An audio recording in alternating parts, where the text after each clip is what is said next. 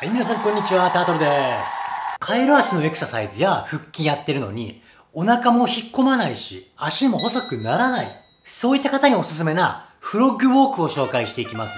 カエル足のいいところは、股関節を外旋する動きなんですね。この動きは基本的に反り腰や前ももの張り、そういった原因の解消になる動きになります。ほとんどの方が股関節周りの筋肉が硬くなって、股関節が内旋してしまう。お尻が出た姿勢になる。お腹の筋肉が緩む。内旋した結果、股関節の動きが制限されて、老廃物が溜まって、前ももの筋肉が緩まない。太くなるっていうことになります。今回は、お腹も気になる。足も気になる。そういった方におすすめなメニューになってます。一歩前進しましょう。じゃあまず立ってもらって、つま先を開いてみてください。この時に膝をしっかり伸ばすと反り腰になってしまうっていう方は股関節が内旋しています。反り腰じゃない方はこの状態でも骨盤がちゃんと立てられます。その時に太ももの張った感じがあまりありません。反り腰の人ほど前ももが引っ張られていたいと思います。少しずつ解消していきます。つま先を開いて立った状態で少し膝を曲げます。このまま揺れます。つま先をしっかり開いておきます。いきましょう。スタート。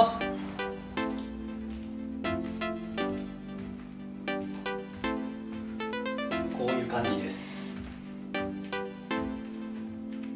足を開けば開くほど骨盤が立ちやすいのでまずはこの感覚を身につけていきましょう。しっかりねつま先開くことで股関節周りの筋肉がね温まってきますんで。はい OK 今度はもう少し膝を伸ばして足狭くして揺れます。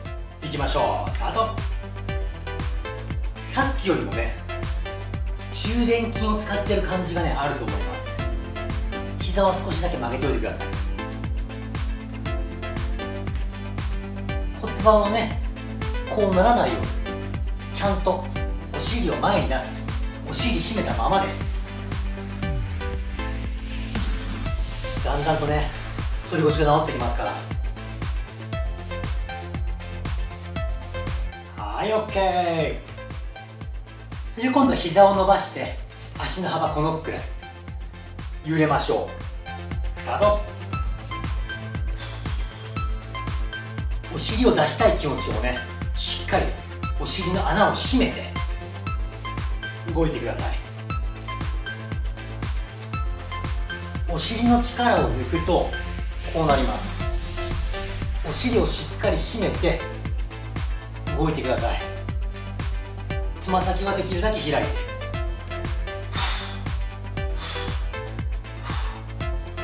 OK です。今度はかかとをつけたぐらいの気持ちで揺れます。いきましょう。スタート。ちょっとね難しいと思いますが。できるだけね膝を伸ばしたままお尻が出ないように体を左右にね揺らしながらつま先を開くっていうこととお尻を締めとくっていうことがね身についてきます。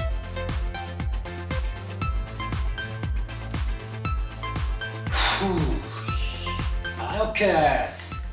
はい次はかかとをつけて今みたいにお尻締めたままこのまま膝を曲げて立つ。立った時に骨盤が前傾しないようにしっかり骨盤を起こしたまま動きます。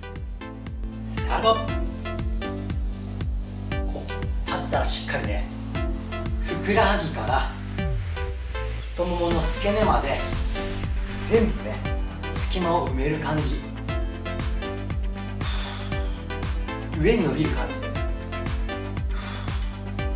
お尻をしっかり締めてこれがねすごくぺたんこな方とね足上げにいいです。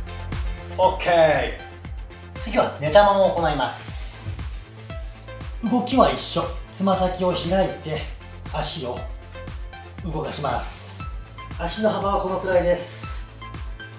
ラストいきましょう。スタート。しっかりねこれで足を抱えて上に伸ばす。腰を床につけておきます。これで骨盤が立った状態が作れてつま先を開く外旋の動きができてます。だいぶつま先開くことにね慣れてきたと思います。よし OK お疲れ様でした。今ので股関節をしっかり外旋する動きが身についたと思います。お腹が出やすい人はほとんどの方が反り腰です。今回はお尻を締める骨盤を立てる。反り腰の原因となる股関節の内旋の動きの反対外旋。という動きがね身についています。足細くしたい。反り腰直したい。下腹ぽっこりが気になる。この3つがね悩みである方は今回の動画を何度も続けてやってみてください。根本から解消することができます。頑張ってやったよって方グッドボタンやコメントで教えてください。今回もご視聴ありがとうございました。